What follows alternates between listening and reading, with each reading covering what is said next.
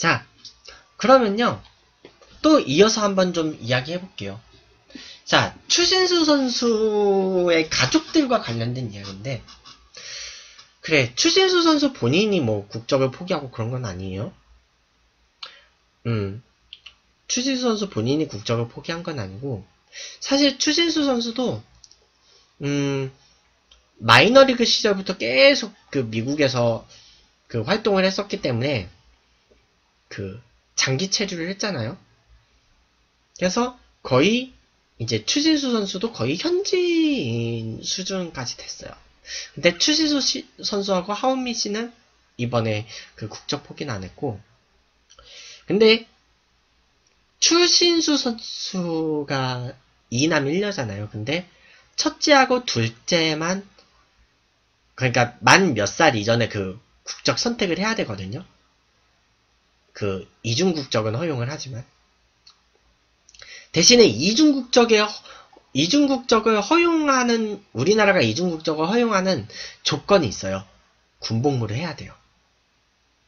근데 그 이제 추지수 선수가 이제 그렇게 되면 아마 학교 생활이나 향후 이제 상급 학교 진학이나 이런 거에 약간 좀 불이익이 있다고 생각을 이제 불이익이 있다는 걸 알았겠지. 그래가지고 그 이제 이제 무빙군하고 그 뭐냐 이제 아들들한테 이제 의사를 물어봤겠죠.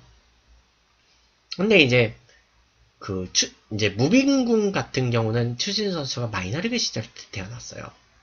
왜냐면 그 추신수 선수가 그 이제 하원미 씨한테 반했는데 그래서 이제 그 장인어른을 만나러 갔, 갔어요. 근데 이제 저는 미국에 가야 됩니다.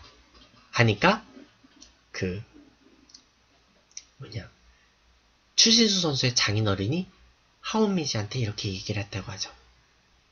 너는 오늘 짐 싸라. 따라가라. 그래서 이제 결혼하고 따라간 거지. 법적으로 부부가 된 거예요. 그래서 이제 원래 마이너리그 숙소면요. 정말 돈 없는 선수들은 다른 동료 선수들하고 같이 막 방 쓰고 막 그래요. 근데 추진수 선수하고 하원미 선수, 하원미 씨는 이제 가족이 됐으니까. 그러니까 그 이제 애가 생겼잖아. 그래가지고 이제 어쨌든 이제 가정을 꾸리고 되게 눈물 젖은 빵을 먹으면서 살림을 시작을 했죠. 그 다음에 이제 그 클리브랜드 인디언스 시절에 둘째하고 셋째가 태어났어요. 둘째하고 셋째가 태어났는데 근데 하원미 씨가 그 셋째 낳고 나서도요. 그 몸조리도 제대로 못하고 또 추진 선수 뒷바라지 하려고 그 애 낳자마자 그또 차 끌고 집에 가가지고 또 뒷바라지 하고 그랬대요. 얼마나 힘들었겠어. 해가 그래서 음 그래서 추지수 선수 같은 경우는 물론 이제 고등학교까지 우리나라에서 나왔는데 추지수 선수의 자녀들은 아예 우리나라에서 자란 기억이 없잖아요. 물론 그래 겨울 시즌에 그 추진수 선수가 겨울일 때 그리고 그 뭐냐 그 추신수 선수가 이제 자녀들이 겨울에 잠깐 방학일 때가 있거든요. 그때 잠깐 한국에 들어와요. 한국에 들어오는데 근데 솔직히 그래 올 겨울에도 아마 추신수 선수는 가족들하고 한국에 들어올 거예요. 근데 좀 추신수 선수가 그 뭐냐 추신수 선수하고 가족들이 그 우리나라 그 언론에 뭐냐 이런 선택을 하게 된 점 죄송하다 이런 걸 사과할 필요는 없는 거예요.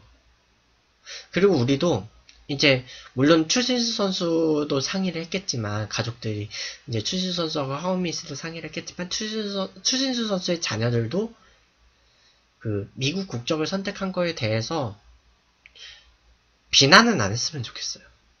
그러면 본인들의 인생이야. 본인들의 인생을 가겠다는데 스티브 유하고는 차원이 다른 거예요. 스티브 유는 징병검사까지 받아놓고 나서 그 뭐냐 물론 이제 가족들의 그 사정에 따른 거지만 징병검사까지 받아놓고 미국 시민권을 딴 거야. 그래서 이제 비난을 받은 거죠. 그래서 유승준 씨 아직까지가 입국이 허용이 안 되고 있는데 입 그 뭐냐 아직까지도 입국을 허용하지 않고 있는 거에 대해서 대법원이 뭐라고는 했잖아요. 그래서 스티브는 앞으로 뭐 풀릴 여지는 생겨요. 풀릴 여지는 생기는데 그 풀릴 여지는 생기지만 뭐 그렇다는 거고 근데 이제 그 추지수 선수의 자녀들은요 아직 무빈군 이제 고등학생이에요. 무빈군 지난 무빈군 뭐냐 지난달 지지난달 그때 중학교 졸업했고요. 무빈군 9월이면 고등학교 가요. 아직 고등학생이야 무빈군. 응 이제 막 중학교 졸업한 애예요. 근데 그래서 법적으로 그 뭐냐 법적으로 아직 좀 뭐냐 그 뭐냐 원래 그 만 몇 세 이후에는 그런 그 그러니까 그게 걸려 있잖아요.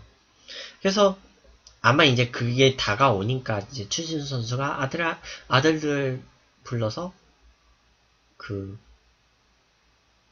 선택을 한 거죠.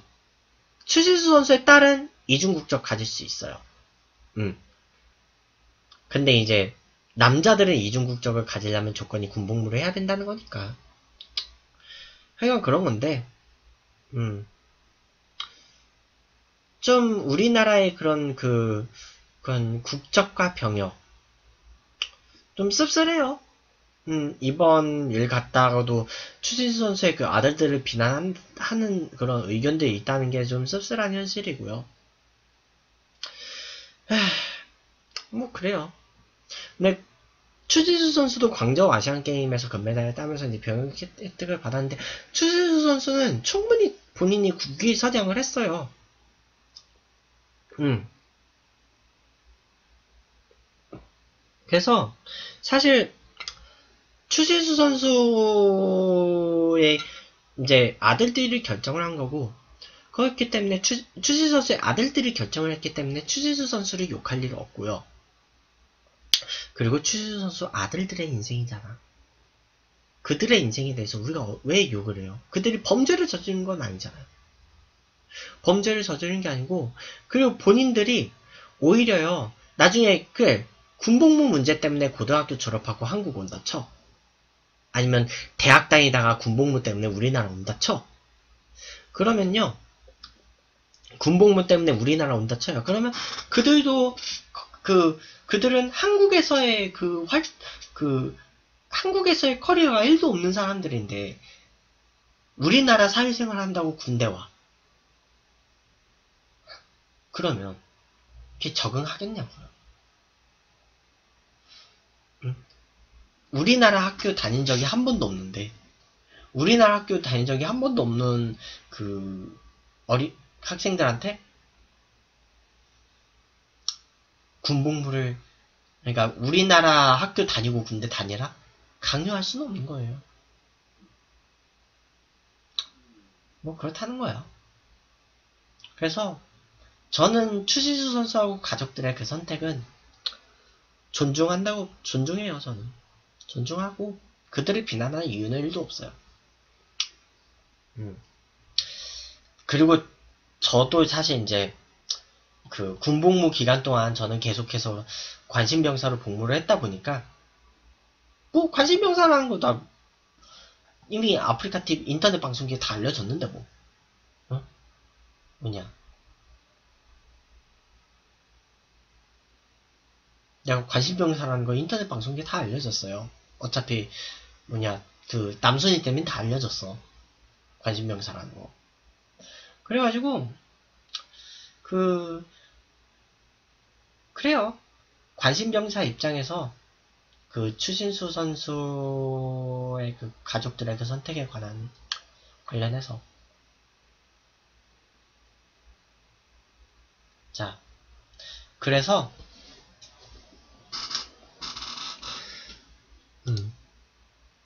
저는 추진수 선수와 가족들의 선택 저는 존중하고 또 이제 그 추진수 선수 자녀들의 앞으로의 그 학업, 뭐 앞으로의 커리어, 진로, 네, 저는 응원해요.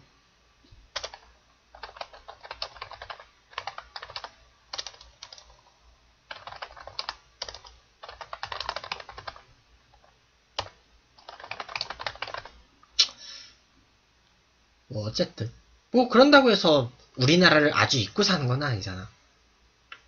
음. 그러니까 그렇게 보시면 돼요. 그 교포들 있어요. 해외 교포 2세들이에요. 추신수 선수들은. 네, 추신수 선수의 자녀들은 교포 2세예요.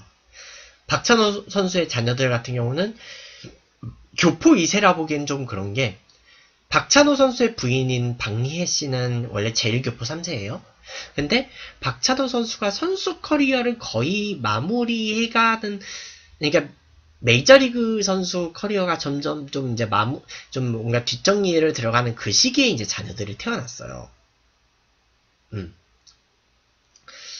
그렇기 때문에 그 그래서 박찬호 선수 박찬호 선수 같은 경우는 그 이후에 뭐 한국, 미국 이런 데 오가면서 살잖아.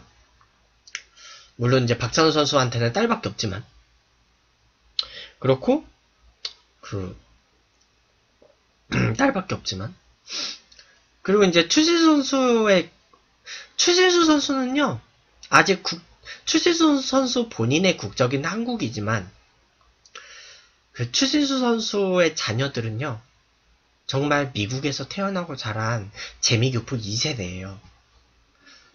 행크 콩거 생각하면 돼요. 행크 콩거도 재미교포예요. 우리나라에 피만 섞여 있는 거지. 그러니까 피가 섞여 있지만 거기서 태어나고 거기서 자란 사람들한테 우리나라 그 우리나라에서 생활한 적 한 번도 없는 애들한테 우리나라 국적을 강요를 해? 그거는 좀 인간적으로 좀 문제가 있다고 봐요.